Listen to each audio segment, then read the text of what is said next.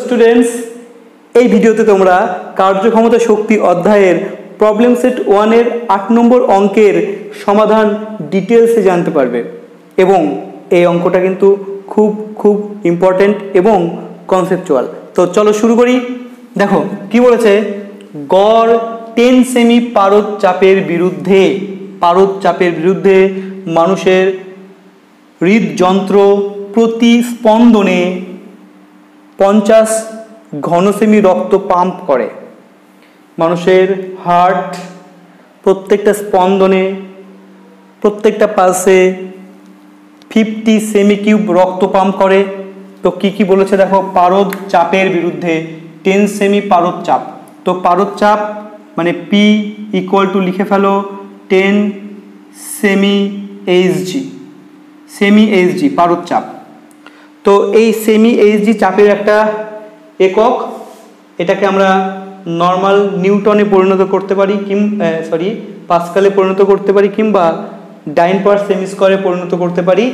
তো চলো কীভাবে করব? তো চাপের একক কি? চাপের একক কিন্তু তোমরা ভালো করে জানো পাসকাল এসআই একক। তো আমি এসআই একক করছি। টেন সেমিটাকে প্রথমে আমাদের মিটার বানাতে হবে। তো সেমিকে মিটার বানাতে গেলে তোমরা ভালো করে জানো কি করতে হবে? একশো দিয়ে ভাগ। ঠিক আছে? তারপরে পারদের ঘনত্ব বসাতে হবে তেরো দশমিক ছয় ইন্টু হাজার কিউব এসআই পদ্ধতিতে ইন্টু। তারপর কি বসাতে হবে? জি এর মান বসাতে হবে নাইন পয়েন্ট এইট। এই কাজটা যদি তোমরা করো, তাহলে গিয়ে তুমি তোমরা এককটা পাবে পাসকাল। তো অ্যাকচুয়ালি এখানে কি করলাম? চাপের ফর্মুলা তোমরা ক্লাস নাইনে শিখেছো এবং ইলেভেনেও রয়েছে P equal to H rho G তাই না? তো এখানে এইচ এর ভ্যালু তো বলে দেওয়া হয়েছে টেন সেন্টিমিটার এটাকে জাস্ট আমরা মিটার বানালাম একশো দিয়ে ডিভাইড করে। তারপর রো হচ্ছে পারদের ঘনত্ব এই পারদের ঘনত্ব বসালাম এসআই পদ্ধতিতে এবং নাইন পয়েন্ট এইট হচ্ছে জি এর ভ্যালু তো এই কাজটা আমাদের করতে হবে, তো আমার এই জন্য ক্যালকুলেটর দরকার। তো চলো আমরা ক্যালকুলেটরের সাহায্যে এটা ক্যালকুলেট করব। তোমরাও করো, আমার সাথে সাথেই করো এবং বলো কমেন্টে বলো যে কত হচ্ছে। তো আমরা এই কাজটা করি কত হচ্ছে দেখে নিই। তো point point one point one into তেরো দশমিক ছয় ইন্টু নাইন পয়েন্ট এইট ঠিক আছে? এর সঙ্গে মোটামুটি থাকছে, দেখো এটার ভ্যালু অ্যাকচুয়ালি বেরোচ্ছে, এই পি এর ভ্যালু বেরোচ্ছে তেরো হাজার তিনশো আঠাশ পাসকাল। দেখো, এটা বেরিয়েছে কিনা। পি এর ভ্যালু এইটা বেরোচ্ছে কিনা একটু আমাকে সবাই কমেন্টে জানাবে। তোমরা নিজেরাও করো, তোমাদের ক্যালকুলেটারে করো, তেরো হাজার তিনশো আঠাশ বেরোলো কিনা। ওকে তো চলো, এই কাজটা আমাদের হয়ে গেল। এবার বলেছে প্রতি স্পন্দনে ফিফটি সেমি কিউ রক্ত পাম্প করে। তো সেমি কিউ একক থেকে বুঝতে পারছ, এটা আয়তনের কথা বলেছে। তো আয়তনকে আমরা অবশ্যই কী দিয়ে লিখব? আমি লিখে দিচ্ছি আয়তন। ঠিক আছে? আয়তন ভি ইকুয়াল টু কত বলেছে? ফিফটি সেমি কিউব তো সেমি কিউবকে আমরা, চলো এসআই বানাই। কীভাবে বানাবো? দেখো ফিফটি থাকল, এক সেমি মানে এক সেমি মানে এক মিটার মানে তোমরা জানো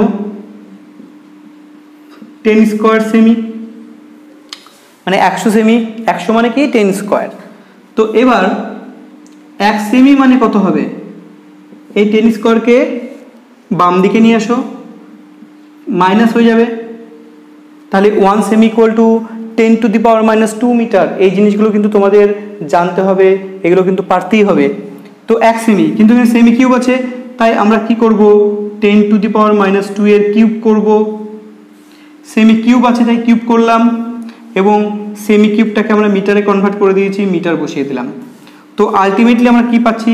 তিন দুগুণ ছয়, আর এখানে একটা ফিফট একটা শূন্য রয়েছে five into ten to the power minus five metre দেখো, এটা হলো কি না এটা তোমরা পাচ্ছ কি না five into ten to the power minus five metre actually six হতো এখানে মাইনাস সিক্স আর এখানে একটা শূন্য আছে, কেটে গেল, তো মাইনাস ফাইভ হয়ে গেল। আয়তন পেয়ে গেছি আমরা। যদি হৃদস্পন্দন মিনিটে বাহাত্তর বার হয় তবে হৃদযন্ত্রের ক্ষমতা কত? মিনিটে মিনিটে মানে এক মিনিট টাইম বলে দিয়েছে। Time T is equal to one minute that is sixty second sixty second কিন্তু বলে দিয়েছে। ওকে আচ্ছা আর এটাও জানতে হবে মিনিটে বাহাত্তর বার স্পন্দিত হচ্ছে আমাদের হার্ট তো এবার আমরা ক্ষমতা বের করব। ক্ষমতার জেনারেল ফর্মুলা দিয়ে স্টার্ট করব আমরা। তারপরে দেখব স্পেশাল ফর্মুলা আচ্ছা এটা আমি একটু মুছে দিলাম, যেহেতু এর কাজটা হয়ে গেছে, মুছে দিলাম। এটাও মুছে দিচ্ছি, এর কাজও হয়ে গেছে, মুছে দিলাম। তো আমার একটু ডান দিকে জায়গা হয়ে যাবে। তো দেখো, ক্ষমতা। ক্ষমতার ফর্মুলা ক্ষমতা মানে কার্য বাই সময়। ঠিক আছে? তো মাথায় রাখবে, আমরা প্রেশার জানি পি আর ভলিউম জানি ভি পি ইন্টু ভি মানে কার্য বোঝায়। চাপ ইন্টু আয়তন এটা কিন্তু কার্য বোঝায়। কি বললাম?